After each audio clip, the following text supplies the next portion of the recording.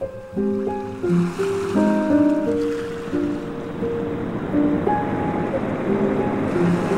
he is. Right out there, you see it? There he is. It's huge. Ocean chemistry is being altered on a scale not seen for millions of years.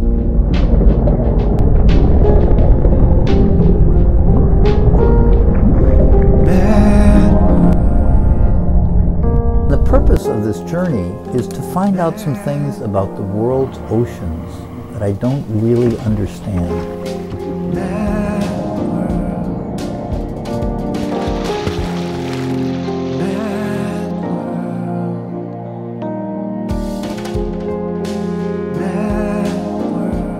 The more acid we put in the ocean, fundamentally bad things will happen.